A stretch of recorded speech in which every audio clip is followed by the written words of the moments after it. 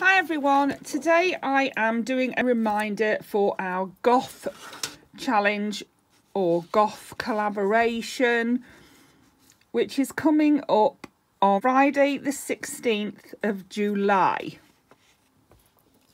So the idea is that everyone can join in with Marna and myself in our Goth collaboration, I think is probably a, uh, a better term than challenge. Marna and I are each making a goth doll or a goth themed doll. I'm using Amelia for most of my videos. So Amelia is my goth themed doll. So far she's got some tattoos. She's got her eyelids painted. I've given her some eyebrows, painted her lips and uh, given her a little heart on her cheek.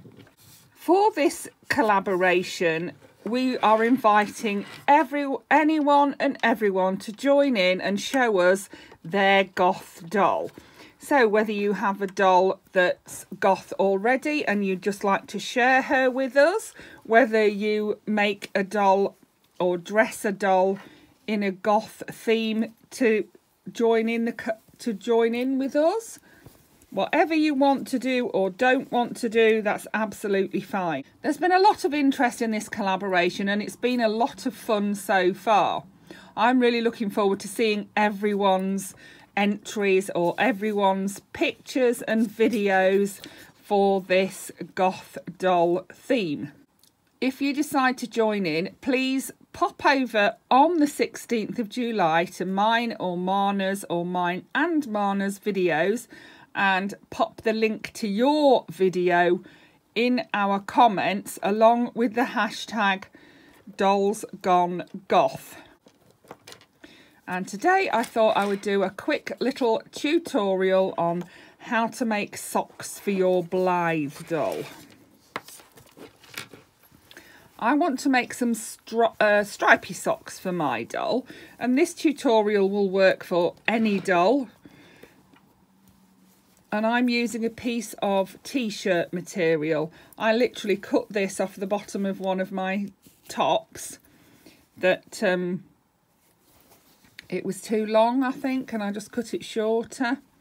So this is a piece of t-shirt material and all I'm going to do is this will work for any size of doll too. We'll lay her on a tummy and I'm going to make her a pair of, well actually I might make her a pair of stockings so that they're longer.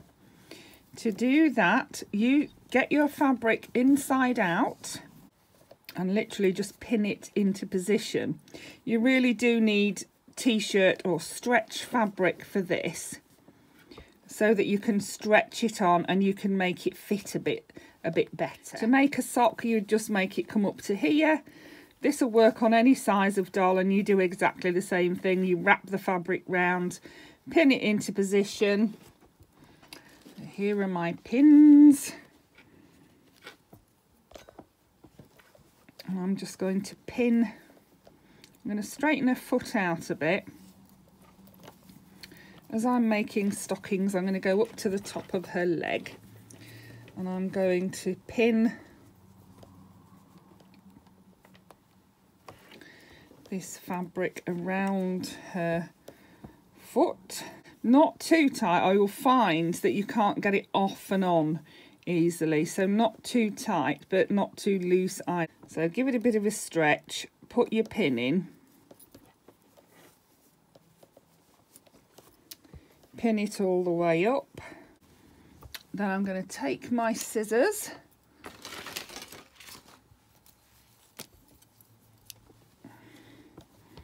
and just trim this round.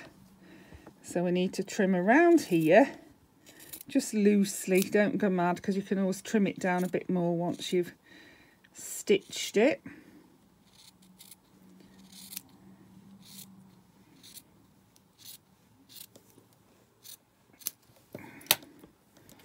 There we are. And then I'm going to get my sewing machine or you can get a needle and thread and I'm going to stitch around where I'm pinned. So I'm going to stitch down here like this, following the pins. And I'm going to do that twice. So I've stitched both socks or stockings along where I pinned them. You could do this by hand or on your machine. The next thing we need to do is trim off the excess seam allowance. So I'm doing that here. Because this is t-shirt material, stretch cotton, you won't need to edge it, it won't fray. So I'm trimming that now.